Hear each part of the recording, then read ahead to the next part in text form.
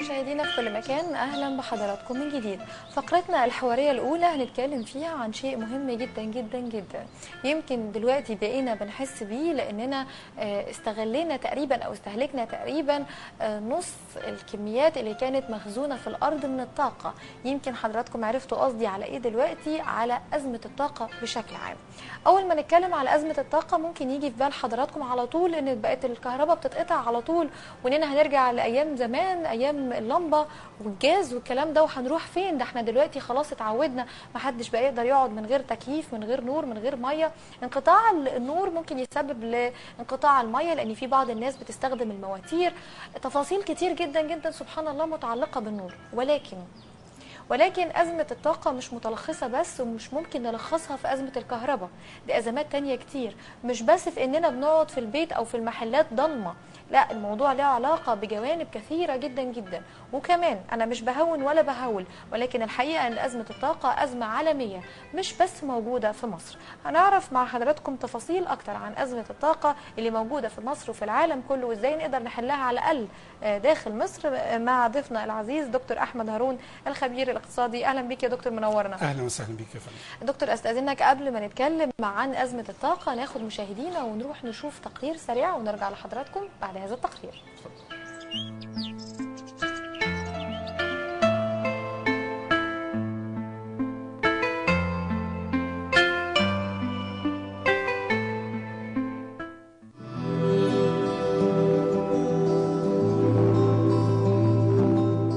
إن تقدم وتأخر البشرية يقاس بإنتاج الطاقة والطاقة الشمسية يمكن أن تعطي الكثير للبشرية وأن تتحكم في المجال الاقتصادي والسياسي والإنتاجي. إن إنتاج الطاقة التقليدية أصبح مكلفا ويضر بالبيئة ويجب البحث عن أنواع للطاقة البديلة التي يمكن استخدامها بطريقة نظيفة وصديقة للبيئة مع عدم تعريض حياة الإنسان لمخاطر التلوث البيئي الصادر عن استغلال أنواع الطاقة القديمة. ولو نظرنا لتاريخ البشرية نجد أن إنتاج الطاقة بدأ مع الإنسان من أقدم العصور باستخدام الفحم كمصدر للطاقة ثم تطور واستخدم الكهرباء ثم استخدم الغاز الطبيعي. وكل هذه الأنواع من الطاقة تسبب أضرارا للإنسان. فكان لابد من البحث والتفكير في طاقة بديلة أقل ضررا وتكلفة. ويمكن القول أن كل الطاقات البديلة يمكن إرجاعها للشمس بما فيها البترول والفحم. لذلك تعقد كل الآمال على الطاقات المتجددة في حل المشاكل البشرية في العالم. ويعتبر أن كل أنواع الطاقة ستنتهي إلا أن الطاقة المتجددة لا تنتهي.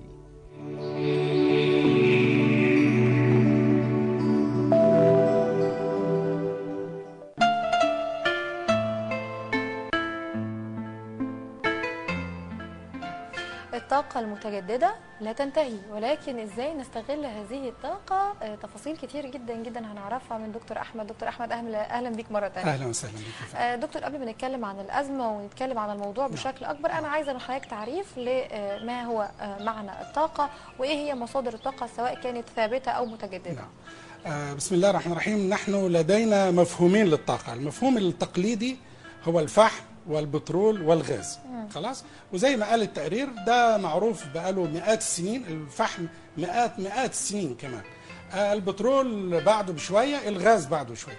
أما المفهوم الجديد للطاقة ففي الطاقة النووية والطاقة الشمسية وطاقة الرياح والطاقة البيولوجية وفي مفاهيم جديدة للطاقة زي طاقة باطن الأرض.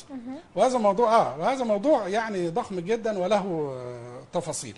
فإحنا لدينا مجموعتين المجموعة التقليدية اللي حضرتك أشرت إليها أن هناك تقارير من علماء آه، اسمه هيربرت من خمسين سنة قال أن الطاقة الطبيعية الفحم والبترول والغاز سوف تنتهي خلال مئة سنة تماما وتنفد تماما.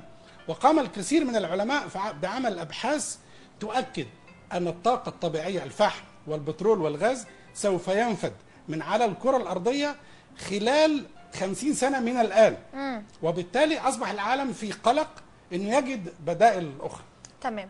آه، نوعيات بقى الطاقة يا دكتور اللي موجودة يعني بعض دول الخليج مشهورة بالموضوع الطاقات البترولية.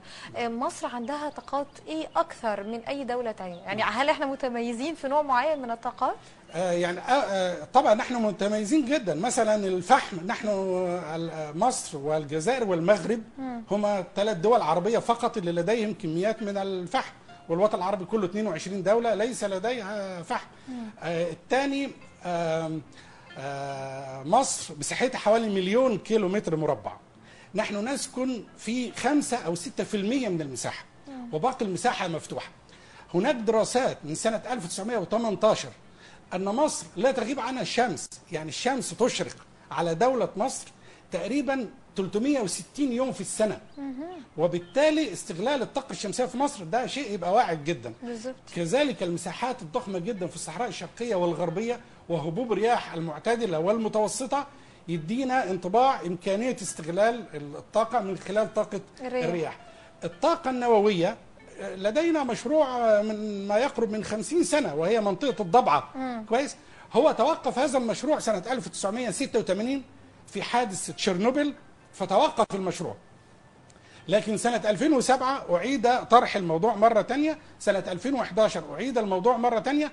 الآن يتم دراسة آه، كيف ننشئ محطة نووية في الضبعة الآن أنا أتكلم على الآن. وبالتالي مصر لها ميزة نوعية في موضوع الطاقة بالظبط. أنا سألت حضرتك ليه إحنا متميزين عشان نعم. نعرف المشكلة عندنا منين؟ نعم. ما شاء الله عندنا شمس الله أكبر. ما شاء الله تقريبا طول السنة طبعا. العالم كله. أنا دايما بقول إن هو بيحسدنا عليها. طبعا، ما شاء الله. طبعا، طبعا. ليه ما بنستغلش ال- الطاقة دي؟ وهي طاقة طبيعية من عند ربنا سبحانه وتعالى. وكمان يعني إلى حد ما غير مكلفة. مش هتكلفنا حاجة. نعم. هل استغلال الطاقة دي هي- هيحتاج بعض الميكنه والأجهزة والآليات اللي يعني عشان نستغل الطاقه بيها هيكون الموضوع مكلف علينا؟ نعم نعم. شوفي نحن مضطرين نحن مضطرين أن نلجأ إلى هذه الأنواع من الطاقة. علشان نعمل فوكس شوية عن المشكلة في مصر نحن نستهلك يوميا آه، آه، مئة ألف آه، طن بترول أو مواد بترولية يوميا. نحن نستهلك المجتمع المصري يوميا يستهلك يعني من 90 ألف إلى 100 ألف طن مواد بترولية يوميا. نحن ننتج 70% فقط. وبالتالي نحن لدينا في طاقة ال- ال- البترول والغاز على سبيل التحديد عجز قدره 30% حتى نغطي هذا العجز بنقوم من استيراده من الخارج صح؟ بنستورده من الخارج. حتى نستطيع استيراده لابد البنك المركزي المصري أن يدبر شهريا 900 مليون دولار. هذا رقم مش مش طبيعي. البنك المركزي الآن الآن يدبر 900 مليون دولار شهريا لتغطية عجز الطاقة. طبعا ده بيمثل عبء كبير جدا على حاجتين على السيولة النقدية اللي في البلد وعلى العملة الصعبة. خدي بقى المشكلة اللي أكبر من كده. أنا عايز أوصل بيكي إن إحنا مضطرين أن نلجأ إلى البدائل الأخرى للطاقة. هذه الطاقة اللي بنستوردها أو المواد البترولية اللي بنستوردها نحن نستوردها بالأسعار العالمية. اللي هو الطن تقريبا ألف دولار. خلاص على كده؟ نحن نبيع الطاقة إلى الشعب المصري بالأسعار المحلية. الطن من ألف إلى ألفين جنيه. إذا هناك فرق بين سعر الاستيراد ألف دولار لل- وسعر البيع. وسعر البيع. يؤدي بالدولة إلى تقديم دعم للمواد البترولية تقريبا 5000 جنيه لكل طن. ده بيجمع في نهاية السنة المالية 100 مليار جنيه. الدولة تقدم دعم للمواد البترولية 100 مليار جنيه. ده المواد البترولية يعني فقط. البنزين والغاز والسولار والمازوت وليس الكهرباء. حط بقى الكهرباء الدعم المقدم للكهرباء من حوالي 15 إلى 20 مليار بمعنى أن الدولة تقدم 120 مليار جنيه دعم لقطاع الطاقة.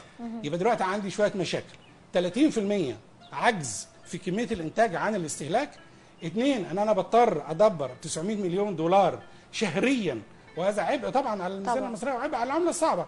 ثلاثة إن أنا مضطر نحن مضطرون إلى تقديم المواد البترولية بالسعر المدعوم أكيد. لكن هذا الدعم بيحمل ميزانية الدولة حوالي ال- الدعم كله كبير جدا لكن المواد البترولية والطاقة حوالي 120 مليار جنيه. لما تشوف المشكلة دي كويس؟ طيب نحن نريد أن نعمل تنمية صناعية صح؟ ونريد إن إحنا نعمل تنمية في الإسكان. إزاي نعمل تنمية صناعية أو تنمية آه، زراعية أو تنمية في الإسكان؟ ونحن الآن لدينا مشكلة في الطاقة. يبقى الحل الوحيد أن نفكر وبجدية الآن التحول إلى مصادر أخرى للطاقة. طاقة بديلة. بديلة. طيب قبل ما نخش في الحلول يا دكتور في بعض الناس تيجي تسأل طب هو إحنا ليه زمان أو على الأقل من من من خمس ست سنين ما كناش حاسين بحجم المشكلة بالشكل ده؟ هل عشان إحنا انتاجنا للطاقة زي ما حضرتك تفضلت وقلت قل وبقينا بنستورد نسبة كبيرة ولا عشان إحنا العدد زاد ولا عشان كمان استهلاكنا زاد؟ عشان إيه بالظبط؟ شوف هذا أمر منطقي. هذا أمر منطقي وأنت أشرت إليه بسرعة في حوارك. فزيادة ال- ال- الكثافة السكانية شيء طبيعي هتستهلك طاقة أكثر تمام. آه، زيادة الرقعة الزراعية هتستهلك طاقة أكثر آه، زيادة الطاقة السكانية بالطبيعة هتحتاج طاقة أكبر. لو عملت توسع صناعي هتحتاج طاقة أكبر. فده شيء طبيعي. علشان كده دايما أقول إن لابد للدولة أن يكون لديها تخطيط استراتيجي يسبق الزمن شوية. يعني لابد تخطيطنا إحنا يبقى لمدة خمس سنين وعشر سنين وعشرين سنة قدام لو لدينا هذا التخطيط الاستراتيجي أنا أعتقد أن إحنا كنا انتبهنا لقضية مشكلة ال- الطاقة طب وكنا وفرنا يا دكتور وما كناش عانينا الناس دلوقتي نعم. بتقول يا رب ربنا يستر نعم. يعني تحديدا على مشكلة الطاقة الكهربائية آه، الصيف لسه ما جاش وال- والكهرباء برضو لسه نعم. بتتقطع لحد نعم. آه، بالساعة والساعتين نعم. طب لما الصيف يدخل والحمل نعم. يزيد إيه اللي هيحصل نعم نحن لدينا يعني طموحات كبيرة جدا والحقيقة وزارة الكهرباء لها طموحات كبيرة جدا في هذا المجال وبتحاول الآن ونحن قاعدين دلوقتي إنها تعمل محطات توليد كهرباء لكن محطات توليد الكهرباء مكلفة. محطات توليد كهرباء 300 مليون دولار وأرقام من هذا القبيل. فهي مكلفة. كويس؟ لكن أرجع أقول تاني إن وزارة الكهرباء خلي بالك من المشكلة دي. وزارة الكهرباء ووزارة البترول لهم مستحقات مالية عند القطاعات الحكومية حوالي 180 مليار. في نفس الوقت وزارة الكهرباء وزارة البترول عليها مديونيات للبنوك والشركات والموردين 150 مليار. نحن نريد حد يتدخل يحل حل هذه. الإشكالية. آه. مرة تانية الكهرباء والبترول عليهم عليهم حوالي 150 مليار. 50% للبنوك و50% للشركات والموردين. في نفس الوقت هم ليهم فلوس عند القطاعات المختلفة من الحكومة حوالي 180 مليار. نحن نحتاج حد يدخل يحل هذا التشابك. كذلك هناك مشكلة في السيولة. أنا أعتقد إن مش يعني موضوع السيولة ده يحتاج إلى حلقة خاصة. كويس؟ للحديث على السيولة. نحن الآن آه، آه، يعني كما سمعتي هناك مشروع لبناء مليون وحدة سكنية. طبعا شيء مبهر وشيء طبعا. رائع وشيء جميل وشيء مبشر لكن هل سألنا نفسنا المليون وحدة سكنية مليون وحدة سكنية وتعادل تقريبا تقريبا خمس مدن كاملين. طب هنعمل إيه في الطاقة؟ يعني أنت هتبني وهتسكن. مشكلة الطاقة هتحلها إزاي؟ أنا أعتقد إن ده لا يمكن تحميله على إمكانيات وزارة الكهرباء الحالية ولا بد من التفكير في حلول. نعم. ال- ال- ال- المواطن العادي لما يسمع كلام حضرتك كده يحس إن هو طب هنعمل إيه؟ عارف أيوة. الإحساس ده نعم. أيوة إيه اللي طبعاً. هيحصل طبعاً. إيه في مديونيات من هنا وفي عجز من هنا نعم. وفي آه، نعم. متاهات آه، الشعب المصري نعم. عايش فيها نعم. آه، هنعمل إيه نعم الأول أنا أقول إن دي طبعا مسؤولية يعني مسؤولية الدولة. التخطيط والتفكير والتنفيذ والحاجات دي يعني مسؤولية الدولة وبالتالي المواطن يجب إنه يأمن أو يشعر بالأمان ما يشعرش بالقلق وهذه مسؤولية الدولة لكن ما هو التراك اللي إحنا نمشي عليه هذا موضوع يعني. شوفي السعودية تعتبر أكبر دولة عربية منتجة للبترول. خلاص؟ السعودية تنتج في اليوم حوالي 10 مليون برميل. السعودية. وهي تنتج 50% مما ينتجه الوطن العربي، الوطن العربي كله تقريبا آه، بينتج حوالي 20 مليون، السعودية بتنتج نصها. بالأمس السعودية قررت أن تستغل الطاقة الشمسية مع إن هي ما عندهاش مشكلة في الطاقة اطلاقا. هي مصدر. هي مصدر للطاقة. هتبدأ مشروع آه، ترصد ليه حوالي 9 مليار دولار لإنشاء محطات كبيرة جدا لتوليد الطاقة من الطاقة الشمسية. طب ده إحنا أولى من السعودية بهذا الاتجاه. شوفي حدثت مشكلة كبيرة جدا للطاقة بعد حرب 73 خلاص وارتفع سعر البترول من 14 دولار للبرميل وصل لحد 40 دولار للبرميل الواحد في الوقت ده كان بيل كلينتون رئيس أمريكا. تص... أمريكا أكبر دولة في العالم تنتج البترول وتستورد البترول. أمريكا على فكرة بتستورد حوالي 75% مما تحتاجه. بيل كلينتون عمل إيه؟ بيل كلينتون أقر مشروع لتوليد الطاقة من ال- الطاقة الشمسية ووضع فوق البيت الأبيض ألواح لاستقبال الشمس عشان يعمل طاقة شمسية وخلى البيت الأبيض يشتغل بالطاقة الشمسية. لكن بعد كده جه ريجان واعتبر إن ده نوع من العيب إن أمريكا يعني كده فرفع الألواح دي. لكن أمريكا في وقت مبكر جدا اشتغلت على الطاقة الشمسية. الطاقة النووية مثلا. بالظبط. الناس متصورة إن كلمة الطاقة النووية يعني السلاح النووي. يعني حروب لا يعني لا لا. دمار. لا لا لا اطلاقا اطلاقا. دول العالم 240 دولة. عندنا 35 دولة على الأقل لأن في دول شغالة مش معروفة. 35 دولة تنتج الطاقة النووية. 35 دولة. بعيدا عن السلاح. ال 35 دولة آخرهم الهند وباكستان وإيران وبتاع. فاستخدام و- والإمارات ستنتج طاقة نووية قريبا أنا بقول. ولديهم دراسات إن هم ينتجوا طاقة نووية. نحن في مصر موضوع الطاقة النووية اولا لدينا خبراء في الطاقة النووية عظماء. ولدينا مركز الطاقة ال- النووية أو الذريه في مصر ناس عباقرة. ولدينا مكان اتعمل عليه دراسات اللي هي الضبعه منذ زمن طويل جدا. ما حدث في تشيرنوبل حدث في فرنسا بالظبط. اللي هو انفجار المفاعل النووي وحدث في أمريكا اسمها جزر الأميال الثلاث كان حوالي 79 أو حاجة كده. في آه، تشيرنوبل كان حوالي 86 في فرنسا واليابان فوكوشيما مشهورين كان 2011 هذا لا يعني اطلاقا.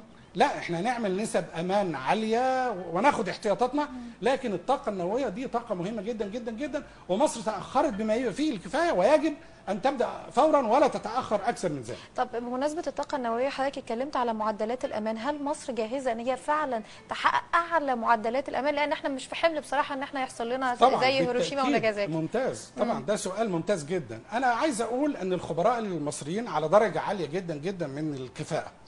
وغالبا هذه التكنولوجيا التكنولوجيا هي تكنولوجيا مستوردة وليس صناعة محلية.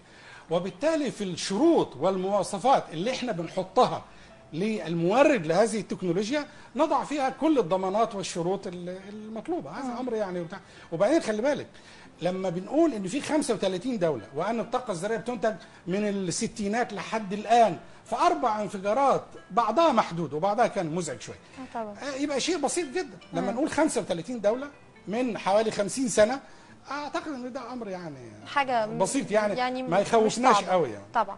آه، مش عشان مصر بس أنا مش عايزة أكون متحيزة ولكن آه، في دول العالم برضو عندها مشاكل كبيرة جدا في الطاقة وحضرتك أشرت لأمريكا. نعم. أمريكا يمكن آه، دماغها جابتها إنها تستغل الطاقة الشمسية وقالت إن ده مش عيب نعم. في البداية. بعض دول العالم برضو عندها مشاكل أخرى في الطاقة؟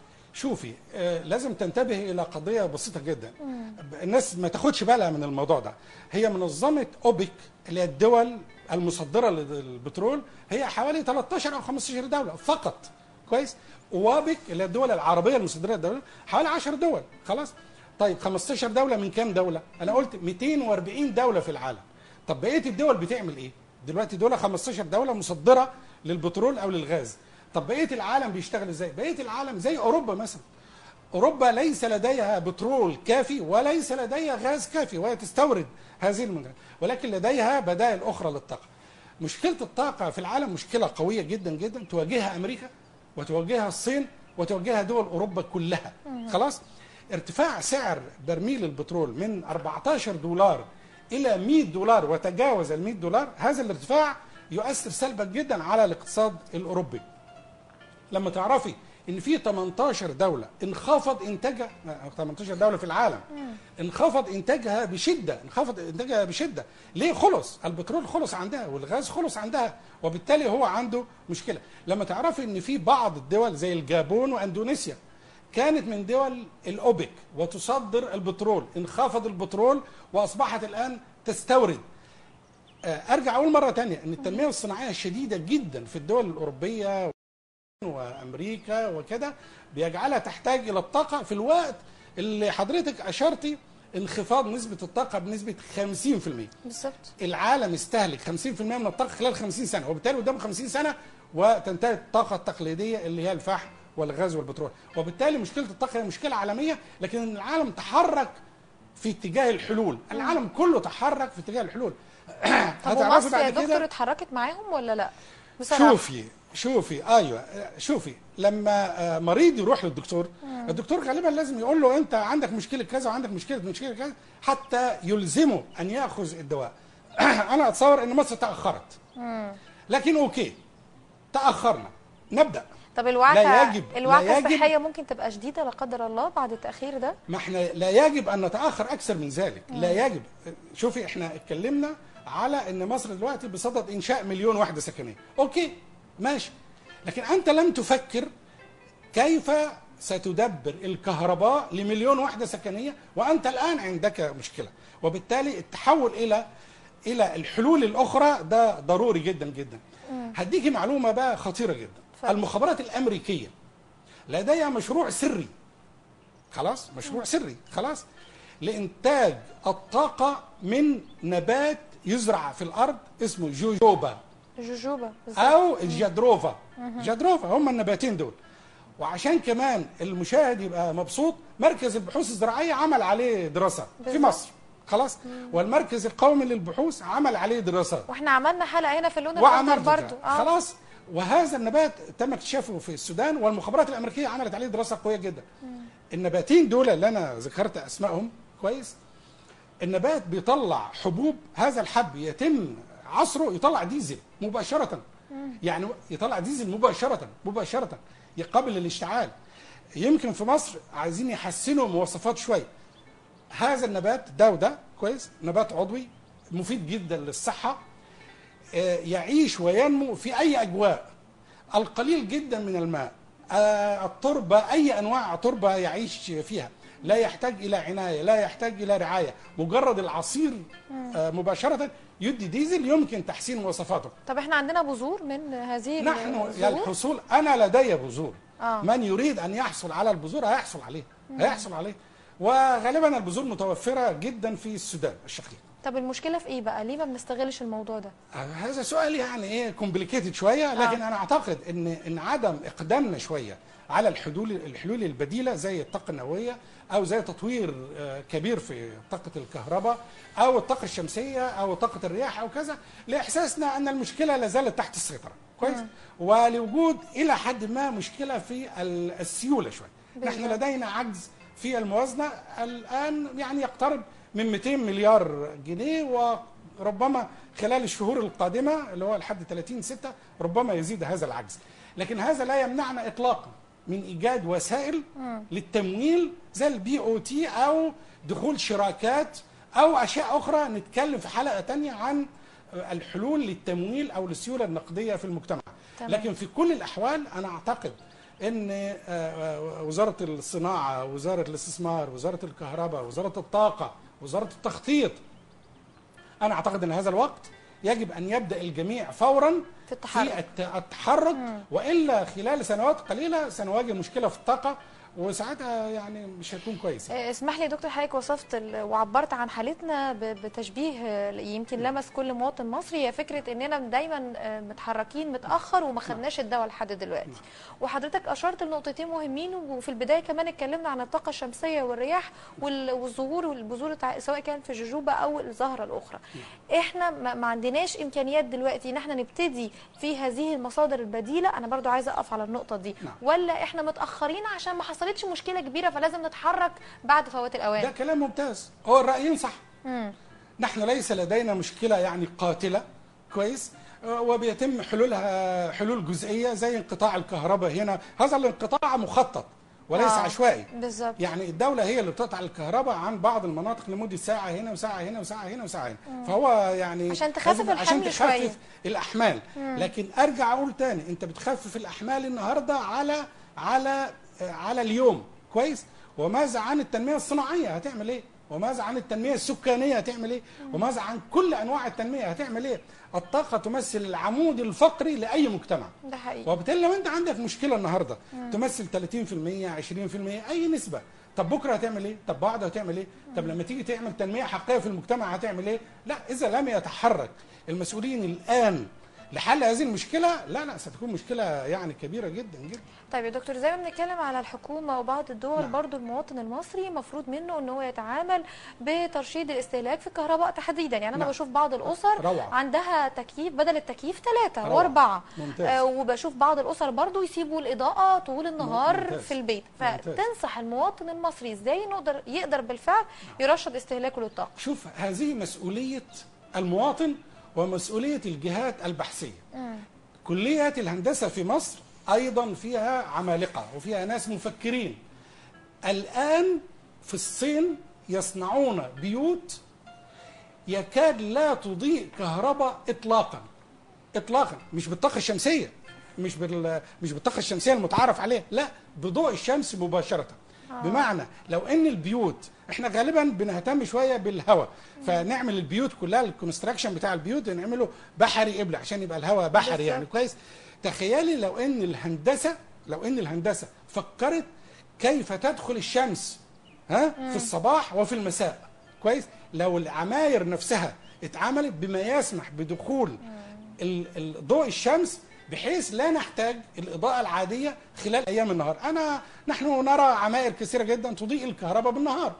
مش مش استخدام الكهرباء يعني ال- الثلاجة والبوتاجاز. لا لا لا ده أنا بتكلم على الإضاءة العالية فالعادية فأنا أتصور أن كلية هندسة لازم يبقى فيها اقتراحات كيف يتم البناء متوافق مع الضوء الطبيعي.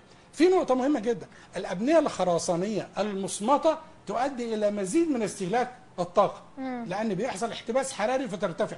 إذا كلية الهندسة عليها أن تهتم بطريقة البناء زي الطوب المفرغ ونوع من الطوب ممزوج بالفلين وهناك دراسات كثيرة جدا والإخوة في كلية الهندسة لهم خبرة. تمام. في نفس الوقت دراسات ات- اتعملت كتير جدا إن الأسرة المصرية لو مش محتاج اللمبة اطفيها. يعني ادخل الحجرة إيد اللمبة بعد ما تخرج تطفيها.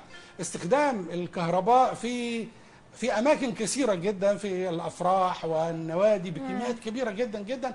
أنا أعتقد نحن الآن في أزمة في الطاقة وعلى اخواننا وأهلنا من الشعب المصري محاولة يعني توفير الطاقة وهذا أفيد ليهم إن شاء الله. على قد ما نقدر. والله يا دكتور كلام حضرتك مشرق جدا جدا أنا مش عايزة أكون متشائمة ولكن حضرتك بتتكلم على آه، تخطيط في الهندسة وفي البناء. طبعا. ده إحنا مش طبعا. عايز- في بعض الأماكن وتحديدا مثلا في في اسكندرية في نعم. الغردقة وغيرها آه، بعض الأماكن بيبقى محددين بس ال- العلو. علو ال- المباني خمسة ستة عشان نحافظ على المنظر الجميل. نعم. الكلام ده دلوقتي ما بقاش موجود وبقت الناس ليها فكرة بس في المكسب وإزاي يبنوا بشكل أكبر. تفتكر حضرتك إحنا ممكن نوصل للمرحلة اللي حضرتك تفضلت قلتها دي؟ إن إحنا يعني نفكر في البنى إن الشمس هتخش لنا ده منين؟ 100% إحنا ده نحن يعني؟ مضطرين نحن إمتى؟ مضطرين إلى اللجوء إلى هذا. أنا بقى أديك معلومة برضو يعني جميلة جدا. اتفضل. كويس.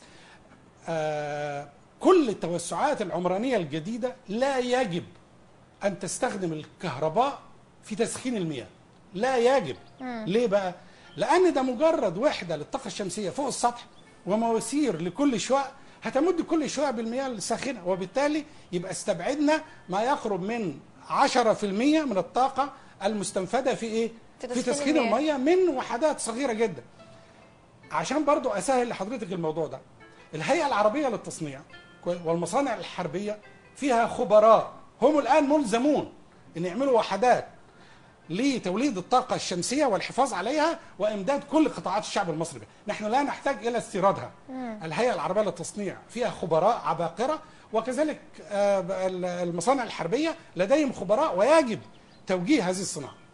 آه، في معلومة تانية جميلة جدا. نحن لدينا في مصر لدينا في مصر خمسين ألف كيلو متر طرق سريعة. نحن لدينا في مصر خمسين ألف كيلو متر طرق سريعة. تصوري كل هذه الطرق تضاء بأعمدة الإنارة ال- الطبيعية اللي بالكهرباء أغلبها مش مضاء. ده لو هنتكلم على أرض آه، أغلبها الواقع غير مضاء. أغلبها غير مضاء. عمود الكهرباء الذي يعمل بالطاقة الشمسية بيباع في أوروبا ب 500 دولار ب 600 دولار. أنا لا أقول لا- يعني يعني؟ يعني 3000 ولا 4000 أنا أقول لا نشتريه. أنا أقول نصنعه. نصنعه. تصوري أعمدة الكهرباء تستهلك من جملة استهلاك مصر من 8 ل 10% من الكهرباء. لو أنا شلت ال 8 10% هوفر. وشغلتها أنا هوفر يعني ممتاز جدا جدا جدا. دي حلول يا دكتور. برضو أنا عايزة من حضرتك الح- الحل بقى الأمثل. وهي دايما مشكلة المشاكل هي التمويل. سريعا كده إزاي ممكن نقدر نحل التمويل ده عايز عايز قاعدة خاصة تمام. كويس لأن ليه أكتر من من حل كويس. لكن بعض هذه الحلول أنا أعتقد إن هي الدولة قادرة على إنها يعني إيه يعني تحل المشكلة في في القريب. أما مشكلة التمويل في مصر as total فأنا أعتقد إن دي عايزة حلقة خاصة علشان ندرس الجوانب المختلفة للتمويل وإيه طبيعة مشكلة التمويل بالظبط وأثرها على آه، حياة الناس يعني مؤثرة سلبا جدا ولكن حضرتك كان- الحد الادنى للأجور مثلا دلوقتي بالظبط. يا- في معاناة يعني كبيرة جدا إن والناس هتعمل إيه يعني يعني 1200 جنيه ده ده المينيمم عشان الناس تعيش وبالتالي الدولة ملزمة وهي ألزمت نفسها بالحد الادنى. للأجور. وبالتالي لابد أن تطبقه وهناك قطاعات حتى الآن لم يعني تتقاضى الحد الادنى لكن عموما هناك مشكلة في السيولة. أنا أعتقد إن إيه؟ إن مشكلة السيولة والتمويل تحتاج إلى يعني حلقة خاصة علشان ندرس كل الجوانب ال- أكيد إن شاء الله بال- هن... هنعيد بالموضوع. المناقشة في هذا الموضوع لأن قد كده الموضوع ده حيوي جدا جدا. دكتور مرة تانية وأخيرة عايزة من حضرتك رسالة لكل مشاهدينا في كل مكان إزاي يقدروا يعني يرشدوا استهلاكهم لأن إحنا للأسف أول ناس بنتضرر بموضوع انقطاع الكهرباء وحتى مش بس طاقة الكهرباء أنا بتكلم على الغاز أو السولار أو البنزين. آه توابير ال- البنزين دي مش عايزين نشوفها تاني إن شاء الله. آه، طبعا كلام حضرتك طبعا ممتاز جدا جدا جدا. واناشد ال- الشعب المصري أن لا يحمل نفسه. يعني أنا أقل فاتورة الكهرباء دلوقتي بقت 50 جنيه إلى 100 جنيه إلى 150 جنيه إلى 200 جنيه. طبعا أنا مش هتكلم على ال 1000 جنيه ولا لأن دي طبقة قادرة على دفع ال 1000 جنيه. لكن أنا أقول إن للاسر المصرية حاول تحافظ على أموالك بترشيد الطاقة. هذا ال- ال- اللي أنت مش محتاجه من فضلك ما تستعملوش. أنا أنصح كمان بعدم استخدام آه، الأجهزة الكهربائية التي لا مبرر لها. يعني البوتاجاز اللي بالكهرباء ده تحميل over شوية على الكهرباء. كذلك ال- الأفران اللي بالكهرباء برضو ده تحميل ده عالية شوية. السخانات اللي بالكهرباء برضو فيها تحميل شوية. الغاز أكثر مرونة من من الكهرباء. فأنا يعني أعتقد إن ده من مصلحة المواطن المصري إنه يخفض استهلاك أكيد. ولو الناس بتخاف. من السخانات اللي بال- بالغاز يعني يشغلوا الكهرباء شوية. آه في هي safety بس برضو نحاول على قد ما نقدر يا دكتور ن- نرشد استهلاكنا. دكتور أحمد هارون الخبير الاقتصادي شكرا جزيلا ليك بجد نورتنا. استفدنا منك. جدا. ميرسي يا دكتور ليك. مشاهدينا أزمة الطاقة كلنا بنعاني منها فأرجوكم على قد ما تقدروا رشدوا الطاقة. وإلا وإلا هنرجع زي أيام زمان لمبه الجاز ونحط الجاز ونقعد بقى نستنى. ودلوقتي حضراتكم في ظل ارتفاع الحرارة إحنا هنتبخر في الصيف. ربنا يلطف بينا يا رب في الأيام اللي جاية. نتمنى يا رب لمصر كل الأمن والأمان من ناحية مصادر الطاقة.